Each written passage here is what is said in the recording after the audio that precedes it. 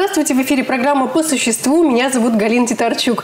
И сегодня у нас в гостях Борис Грачевский. Я даже не буду лишний раз представлять, называть всех ваших регалий. Вас все знают. Вся страна, весь мир. Я думаю, что это самое знаменитое имя и фамилия. Ну да, конечно, Ералаш смотрит не только в России. Это правда. Когда нам сказали, что вы приедете к нам, мы были вот э, на пресс-конференции по поводу кинофестиваля, когда вот еще только-только нам сообщали, кто будет из гостей. Но это настолько приятно, сразу улыбка на лице. У нас дети готовят готовятся ко встрече с вами, взрослые готовятся. Вы же привезли не только свои вот э, любимые серии. Иногда снимаю большое кино. Сюда приехала моя картина, которая называется «Между нот» или «Тантрическая симфония». Это картина, ну, совершенно, она еще 16 плюс к тому же. Это картина, главный герой, э, композитор с мировым именем, который влюбился в молодую совсем девочку с интервалом практически почти в 30 лет. Вот. Ну и все остальное, это вы увидите. Картина мелодрама с элементами комедии, с угу. небольшими, но тем не менее они там везде присутствуют. Вот, с блистательным актерским ансамблем, потому что в главной роли Андрей Ильин. И на вопрос, Андрей Ильин это какой? Я говорю, муж Каменской. И сразу любая дама так, ой. Ну как, жена преступников ловит, да? Угу. А муж котлетки жарит. Да. Здорово. Вот Андрей Лин, там э, задействована э, Татьяна Кравченко, блистательные сваты, которые, которые поклоняется вся страна. Она потрясающая, я ее обожаю. Она наверное, уже раз пять или шесть снималась в Ералаше, но она всегда королева. Вот только что опять снялась в Ералаш, опять мы просто умирали от счастья от нее. Вот, э, там снимается еще и Эммануил Виторган, которого невозможно узнать, потому что да, я его полностью да. заклеил бородой. Там. Да? У него такая косичка, седой старик с, с большой косичкой, такой угу. сзади, модный. Он играет отца композитора, скульптора. Вот, э, Евгений Герчаков, Иван Кокорин и забыл, конечно, Владимир Долинский, мой любимый друг и грандиозный артист, ярчайший. Вот такое там количество. Я еще кого-нибудь забыл. Там даже играет Мария Максакова.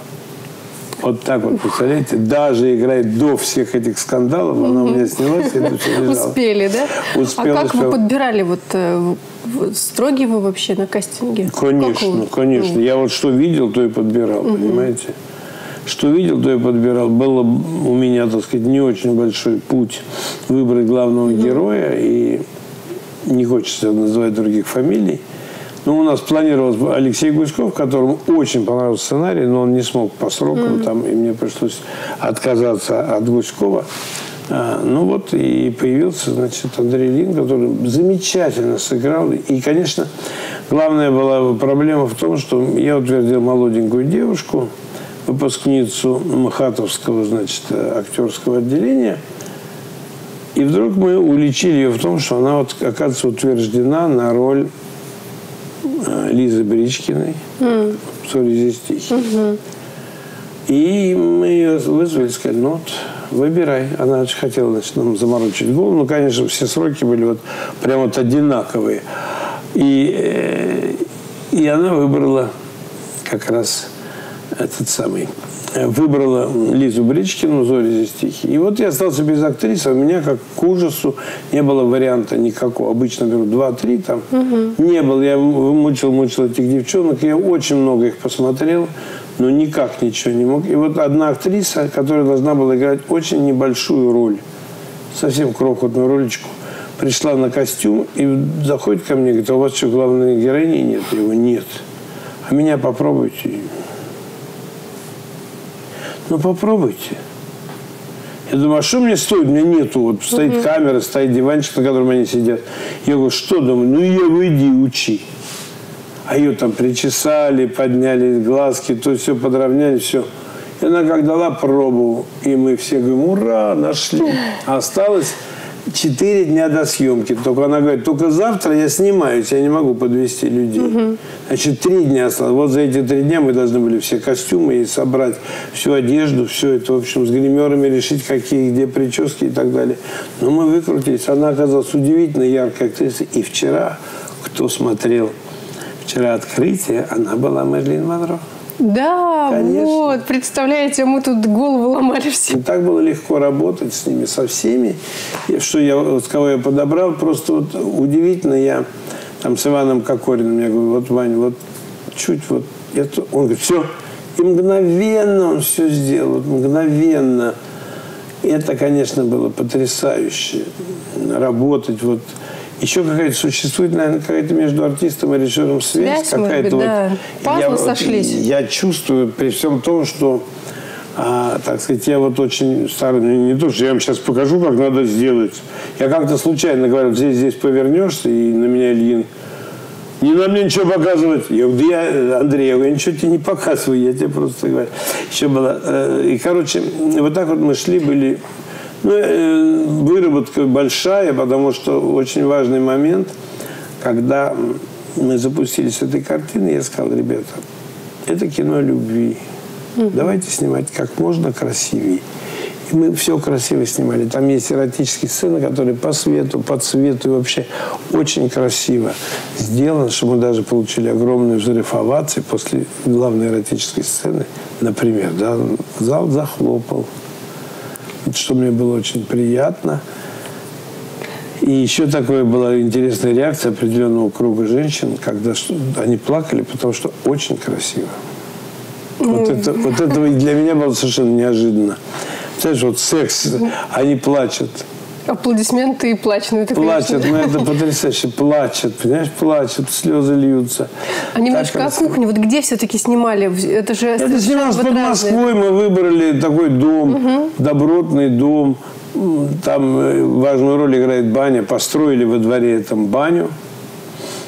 Хозяин очень сопротивлялся, пускай мы тебе эту баню отдадим. Все, сказал, конечно. Не вопрос. Да, мы построили баню. И вот снимали там, 18 дней снималось внутри. Угу. И ну, там много сцен есть. Они и в опере мы снимали, и на улице, и в лесу, и на пляже. В общем, разные были сцены. Вот, ну, и на крыше. Очень красивая сцена на крыше, где она обещается ему в любви. И девочки плачут, и девушки плачут. И, это... и я не могу не сказать еще в этом фильме удивительно красивая музыка. Фантастически а красивая кто? музыка. Да, вот давайте расскажем. Композитор а, Александр да. Клевицкий, угу. который вот только что отметил свое 65-летие. А композитор, который пишет для Яралаш вот эту веселую яралашную музычку. Он может писать серьезно. То есть это ваша же команда? Моя, теми, моя команда. И это было очень приятно. И он годы. сам тут признался, говорит, представляешь, говорит, лучшая моя музыка в твоих фильмах, оказывается. Сейчас зритель еще ждет каких-то спецэффектов. Вот как вы с этим справлялись? Это в моем фильме спецэффектов нет. В фильме «Крыша», когда девочки в финале стоят на краю крыши, чтобы прыгнуть вниз, там были такие эффекты угу. очень серьезные. Очень интересные спецэффекты, когда их не видишь. Когда пользуешься угу. этим, понимаешь? Вот мы там снимали. У меня нет денег, чтобы собрать огромный зал, который угу. там есть такая сцена. Но мы взяли, вот сколько было народу, восемь раз их сняли, перепутали, все получилось, вы нас не поймаете. Я сейчас просто говорю, это все не проблема, казалось бы. Но проблема вот достучаться до сердца, достучаться. И если, так сказать, началась мода быть в 3D, в 3D, я говорю, у меня каждый человек в 3D, вот он выпуклый. А если кино талантливое, угу. я вообще не вижу, как оно склеено, сшито. Но если что-то такое, то я мгновенно вижу все. На Чебоксарском международном кинофестивале э, представлены фильмы, которые действительно не увидишь ну, нигде точно ну, сложно бывает, там, те же самые австралийские ленты. Как вы вообще относитесь к подборке, которая участвует э, в кинофестивалях разного рода? Ну, по-разному. Вы знаете, сейчас началась такая вот страшная история, которая мне, которая мне ну, совершенно э, далека для меня. На фестивале должны быть только какие-то чудовищные фильмы, там, которые нормальный человек в жизни да. смотреть не будет. Я против такого. Я считаю, что расти в саду должны должно все расти в саду абсолютно. Угу. Дело все в том, что все вот и вот у нас такой фестиваль, только, там, только сумасшедший дом, знаешь, убил, съел, и еще и куском мяса так вот. Вот ужас какой-то, какие-то страшные истории, там, загадочные и так далее. Я вообще сторонник того, чтобы человеческое кино было. Человеческое кино. Мне очень важно, чтобы человек я хочу всегда открыть характер человека. Вот ты смотришь, для того, чтобы понять, кто я такой, угу. со мной нужно провести день, два, иногда месяц, три и так далее, и так далее. Понимаете, это очень важно, как э, один философ говорил, чтобы ты, как бы ты тщательно не отбирал женщину, но после замужества, после свадьбы, утром в постели будет совершенно другой человек. Вот о чем разговор, понимаешь? Житейским опытом сегодня делится с нами Борис Ой, Юрьевич. Все, да. Это понимаю, но тем не менее, ну, проживший изрядно, изрядно и вижу. Ну, не могу не спросить о той программе детской, которую вы приготовили для наших маленьких зрителей. Я привожу с собой свежайший Яроваш, угу. вот который только-только-только, еще он на экраны, может быть, год теперь у нас немножко странная такая система стала. Ну, короче, год не увидит никто. Ну, мне интересно, потому что это заодно не просто показ, это еще и лаборатория. И это еще подопытные кролики зрители, которые волей или невольно участвуют в серьезном эксперименте. Оно То есть нам вы на них надо, тестируете? Прошло оно или нам не прошло? надо или нафиг? Ну, конечно. А как же мы обязательно проверяем? Потому что зритель меняется. Очень важно, что сегодняшние дети, ну, абсолютно другие. Все другое. Дело не только вот в гаджетах, которые в руках у каждого, мы об этом очень много снимаем. Дело не в этом. Они вообще психологические. Поэтому фраза вот раньше Ералаш был смешной, и сейчас ну что вот. Да вы состарились. Вы спросите у детей, они сегодняшний Ералаш берут с удовольствием. Они сегодняшние, потому что мы стараемся, вот этот вот дух сегодняшних угу. детей, это касается и их сленга, это касается всего, что происходит. Поэтому мне важно, чтобы они были мои герои живые. Вот он отошел и все, понимаете, сегодня это очень важно. Поделитесь секретом. Вот как вот вам знаете, удается с детьми современными находить общий язык? Часто, и откуда вы знаете, на каком языке они разговаривают? Мне часто задают такой вопрос. Да. Я не знаю, Бог мне помог. Он во мне держит 12-летнего пацана, который редактирует все, что нужно – и этот пацан, он хитрый, он не стареет, он все время меняется, потому что у этого пацана какие-то огромные уши, как у Чебурашка, все выслушивает, что говорят дети, вы, выхватывает и так далее. Это очень важно. И я, так сказать, с этим редактором, все говорят, как вот тебе удается? Я не знаю, вот он щелкает и говорит, нет, эту фигню никто смотреть не будет. Ну вот смешно же, мы же, вы же, мы же. Я говорю, нет. Ну вы же когда же тоже, да нет и все. Знаете, э, я хотел сейчас сказать о том, что никогда что-то не вспоминал. Очень важно иногда запустить второй, он почти всегда есть второй, третий смысл в истории. И как говорил мой мудрый учитель Александр Григорьевич Хмелик, с которым мы начали Ералаш, он говорит, вот пусть в зале на 500-700 мест – это поймут 20 человек всего. Но эти 20 человек донесут это дальше, и это будет нести вот как флаг такой. И это очень и очень важно. И вот, ну, например, вот простейшая история. А мальчик гуляет, мама звонит ему, говорит, давай домой обедать. Он говорит, а можно я приду с Женей? Мама говорит, а Женя это кто? Мой новый друг. Ну, можно, только пусть обязательно спросит разрешение у родителей. Он приходит, она говорит, а Женя-то где? Он говорит, вот. Открывает ладонь, там сидит маленький-маленький лягушонок. Он говорит, вот Женя. Поднимает битком набитый пакет. Откуда я знаю, кто у него родители? Там лягушки огромные. Вот с одной стороны, с одной стороны, такая смешная, и зал хохочет, да. и все замечательно. А с другой-то стороны, это э, боль псевдо э, этого самого э, псевдоаутиста ребенка, псевдо он не аутист, он не может найти контакт с обществом никакого в силу там разных причин. И вот он дружит с этим маленьким лягушонком, понимаешь? Это не аутист, нет, нет, он здоровый ребенок. Но в силу, так сказать, своего характера и так далее, там же есть такой кадр, он проходит мимо всех, mm-hmm. кто играет, и не может прийти сказать, ну что, привет, меня зовут Коля, я буду с тобой у нее не получается. И вот гимн этим детям для меня очень важно. Я даже заставил переснимать финал интонационно, чтобы совпало, как мне надо было. Вот такой я, так сказать, упертый баран, потому что если мне что-то не нравится, я заставляю их переснять, доснять. Иногда вынимается артист, ребенок, который не справился, и переснимается вот эта роль одного. Иногда удаляется режиссер, и все переснимается другим режиссером по другим оком. Бывает и такое. Бывает. Поэтому ну, вот вы такой и самокритичный, очень. и Я злобный на себя просто. И знаете, если, помните, у Булгакова рукописи не горят, угу. то я хочу вам сказать, что и Ералаши не горят, они будут всегда, и мне всегда будет стыдно. Вот мы иногда бросались, особенно когда 90-й год, вот, а как вы, как мы. И мы такие вперед бросились, современные, то сейчас парочку историй, смотреть, там сидят мальчишки, и говорят, скучно живем, а давайте пойдем в металлисты. Да неохота цепи искать, вешать. Потом их люберы бьют, люберы. А если нас поколоть эти, а туда, туда, туда. В общем, перебирают все, какие направления есть. И вдруг один говорит, а пойдемте в комсомол, запишемся. Там ничего делать не надо. И они выбегают из райкома комсомола со значками, говорят, о, и никаких проблем. Тогда это была бомба. Бомба была. Я показывал на каком-то съезде педагогов, там такое началось, такое началось, вплоть до того, что раздался звонок из Московского городского комитета партии. Что вы там такое наснимали? Сказал какой-то голос, видимо, какой-то секретарь какой-то. Я говорю, мы наснимали все в соответствии с последним решением съезда. И он говорит, да, ну ладно, такой был разговор.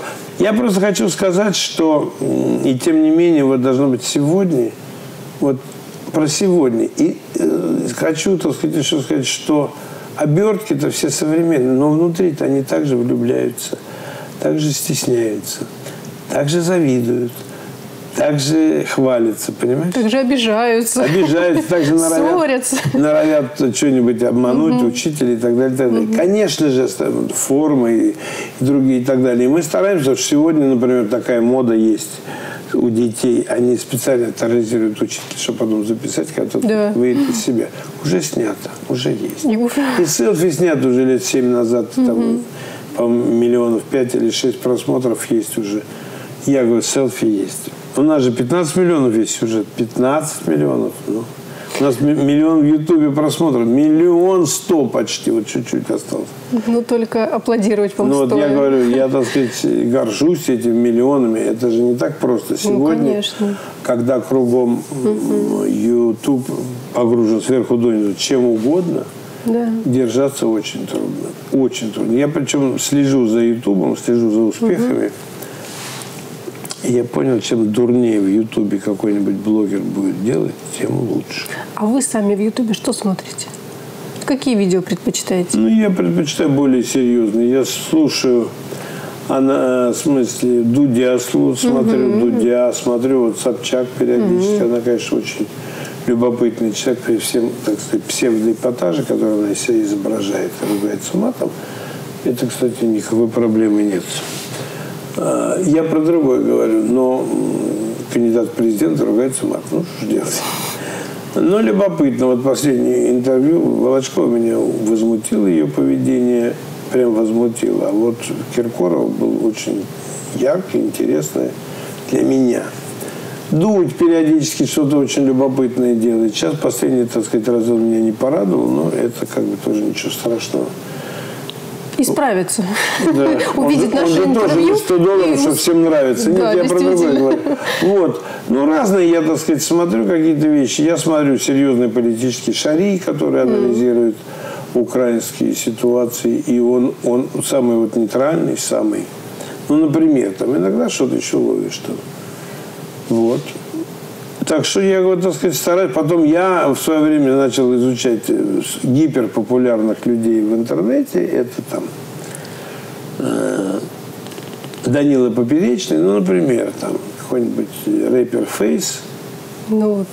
Ну и все эти. Нет, да я их всех знаю. Я посмотрел угу. и изучил. Не могу сказать, что я там, сказать, в восторге в каком-то.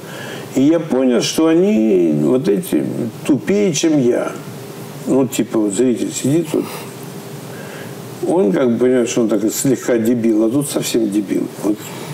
Они смотрят на это. Другого у меня, так сказать, мнения на эту тему нет. Очень странное. Э, много юмора, много не смешного. Иногда подается смешной. Вот как раз 95-й квартал много сделал смешного. Например, там, или мой друг э, периодически отчебучивает э, этот самый Гарри Харламов. Это, конечно, в общем, вы в тренде знаете всех и вся, и я так думаю, что... И лже знаю, да, да много я чего знаю, и Гнойного. Да? да? Много, ну, конечно, ну как? Я должен знать. Я, должен, я работаю с детьми, с молодежью, я должен знать. Ничего. Сказать, что кто-то меня там сильно покорил, не уверен, что он меня прям покорил и так далее. Но тем не менее, там песни Басты я слушал. Mm-hmm. Специально вот этот самый. Одна там... Подпеваете? Нет. Нет, подпеваю я Филиппу. Киркорову? Да, Бедросовичу. Угу. Для меня все-таки вот Киркоров – это большое искусство. Как Алла Борисовна была великой певицей. И много-много лет назад, очень много лет назад, вышел такой документальный фильм «Я возвращаю ваш портрет» называется. Э, Андрей Миронов там вел собравшихся, оставшихся эстрадных артистов, таких известных и так далее. Сейчас уже никто это не помнит. Там, где его и мама была как раз. Вот, Мария Миронова рассказывает. Вот, и он вел это. И там такая была сцена. Клавдия Ивановна Шульженко, такая великая была певица, а, советская, российская, как хотите. Всю войну там пела и так далее. И она встает на колени перед Пугачевой с цветами. Я сижу, думаю, ну это ж перебор, ну вы что? Что же вы делаете? И сейчас я понимаю, что Алла Борисовна была намного, не была, а стала еще и, и так далее. Это, это невозможно, вот нет такого аналога, чтобы сказать, вот. Потому что она круче Мадонны для нас. Кстати говоря, Алла Борисовна вместе с Максимом смотрели мою картину, были на премьере. Mm, и она здорово. потом сказала, что за последних 10 лет на нее произвела больше всего впечатлений моя картина. Вот так. Отлично. Я Значит, понимаю, нам... что Алла Борисовна, может быть, не главный ценитель ну, кино, но тем не менее для да. меня это очень важно было. Понимаешь, в замечательной картине студии Горького, где я 50 лет сижу и работал – даже до понедельника есть замечательная, прекрасная фраза. Счастье, когда тебя понимают. Вот это высший пилотаж, когда ты долго идешь, долго делаешь. Это касается чего бы ты ни делал. Стихотворение ты писал ли. Понимаешь? И так далее, и так далее, и так далее. Вот.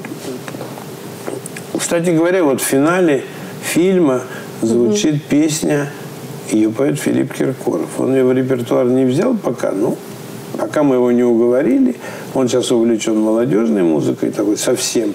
Вот. А в телеверсии я ее сам пою. Потому что он не пришел, ему некогда было. Специально мы записывали. На мои стихи, на э, так такие мои очень красивые стихи, которые посвящены тоже любви, как всегда. Чему еще надо? В общем, Борис Юрьевич, заинтриговали. И вы нам открываетесь каждый раз э, с Галь, такой вы, странной... вы, вы только не обижайтесь, у вас потрясающий город, такие теплые люди. Я замучился фотографироваться, потому что я день по 150 Это на удачу. Фотография с Грачевским – это на удачу. Да, да, да, с тобой так классно фотографируются, столько лайков дают. Да. А жена моя из Москвы говорит, смотри, ты молодец, там правильно одел, что я тебе сказал, сюда это, к этому одеть. Это. А ты откуда да? Она говорит, я. Ей же приходит, а пишет, Карачевский, как угу. это называется, этот хэштег. Хэштег, да. Хэштег, господи. Все, я все изучил это, хэштеги ваши. Я, я присутствую в Инстаграме, и я открыт для Инстаграма. Я присутствую в Фейсбуке, закрыт в Фейсбуке. Все-таки для меня Фейсбук более важно. Но, тем не менее, в Инстаграме я всегда своих подписчиков. Там у меня девять с половиной тысяч подписчиков в Инстаграме. Ну, вы очень популярный человек. Я знаю, что у вас сейчас я насыщенная... Я, я себя всегда серьезно называю да? еле живая легенда. Ох, но с легкой грустинкой. Вы такой веселый, оптимистичный. Вот, но что-то вот такое вот душевное, что не открываете, не отдаете всем на показ. Но да, это у вас и есть всегда. Главный принцип, это. знаете, какой? Ходить по солнечной стороне жизни. Это важнее всего. Я всех предлагаю, переходите на солнечную сторону жизни. Это очень важно, потому что вся фигня, которая происходит, она происходит со всеми всегда. Что-то невозможно везде соломочки посыпать. Mm-hmm. Мы все время на что-нибудь натыкаемся. То на предательство, то на э, зависть ненавистную мне, понимаешь? Ненавижу зависть больше всего. Что вот люди, зависть злобная это все. Вот, и поэтому ходите по солнечной стороне, и всегда хорошее должно доминировать над плохими, я имею в виду, над плохими новостями и так далее. Есть такой анекдот. У меня две новости. Начни с плохой, только обе плохие.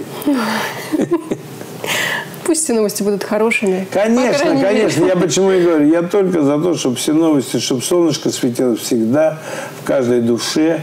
И светящееся солнце автоматически даст возможность вот так вот видеть вот это вот очарование, которое зовут Галина. И, и если вот такие вот глаза и такая улыбка ваша, то не только можно, нужно жить дальше обязательно. Спасибо вам большое. Приезжайте к нам чаще, зовите, встречаться. Зовите. С вами одно удовольствие. Говорит, приезжай в гости, адрес оставь. Зачем адрес? Так приезжай. У нас везде вам рады. В каждом Спасибо. населенном пункте. А я напоминаю, это была программа по существу. До встречи в эфире.